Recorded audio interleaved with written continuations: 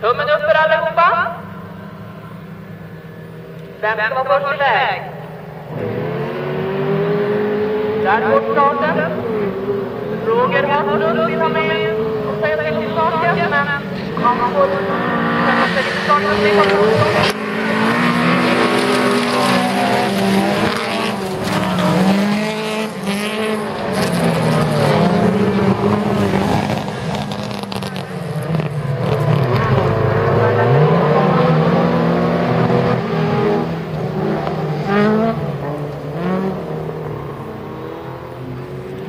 Det var så han hade nått ut därför att vi som nu ligger i ledning. Roger Haslund tog.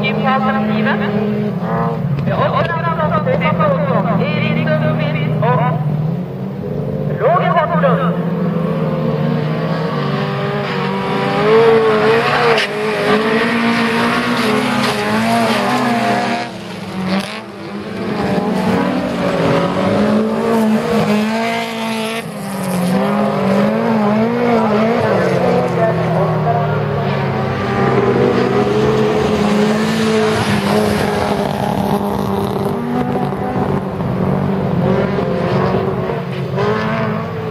per vedere questa mattina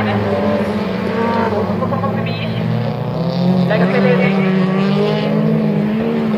Stefan Paulson, Oscar Andersson, Roger Hornlund of Erik Sundqvist.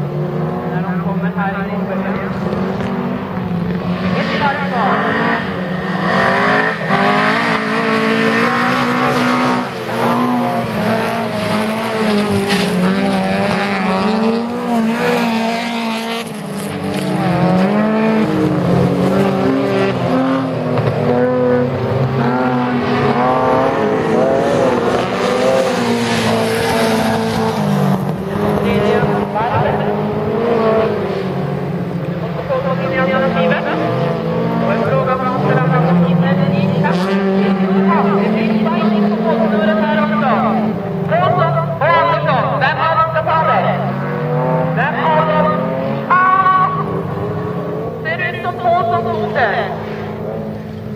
Men det var hårfint. Oskar Andersson på en annen plass, Roger en tredje og Erik Lundqvist på fjerde. Erik Eriksson på femte plats.